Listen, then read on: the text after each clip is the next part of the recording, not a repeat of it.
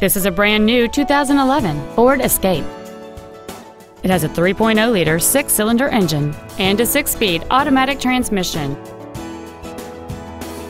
Its top features include cruise control, an auto-dimming rearview mirror, external temperature display, a four-speaker stereo system, a leather-wrapped steering wheel, a multi-link rear suspension, aluminum wheels, a low tire pressure indicator, a CD player, and roof rails.